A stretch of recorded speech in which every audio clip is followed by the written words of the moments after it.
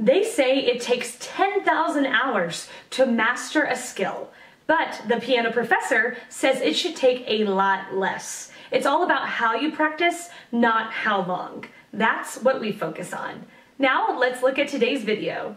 The question Can you become a virtuoso pianist if you start playing and learning as an adult? Forgive me if I have assumed incorrectly, but allow me to share with you what I have witnessed as a teacher each time an adult has entered my studio saying they want to be a virtuoso.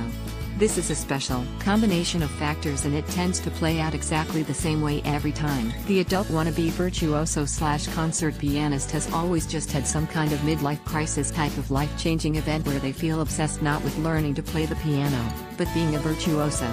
What they are actually seeking is validation of their life and a shot at the some dream of greatness they missed. These people want to go straight to virtuoso lessons and think that they somehow can skip ahead and start learning from there. They feel that information on how to do it is being withheld by the instructor because the instructor recognizes their potential and is threatened by it somehow.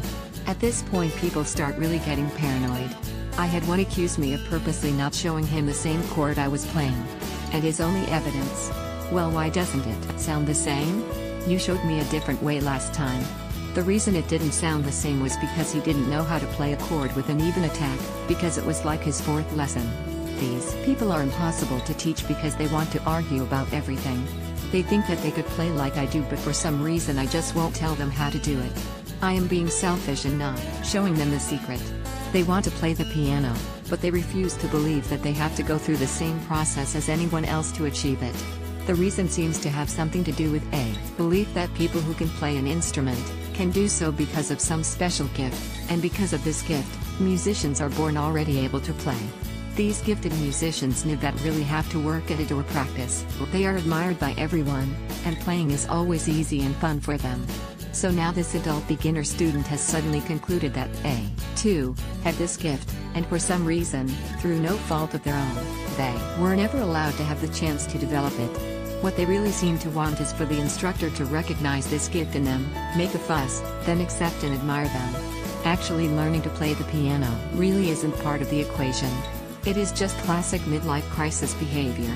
Thankfully, most of these types end up buying a sports car instead of a piano. No matter how delusional they become none of them ever lasted more than a few months before they decided piano wasn't what they had imagined. If you teach in a large studio it is a process to drop a student so it wasn't like I could just stop teaching the crazy ones. Learning the piano without spending decades on it is about working smart not hard. You can access the Piano Professor pack in the link below. It focuses on abusing diminishing returns to get the best results possible.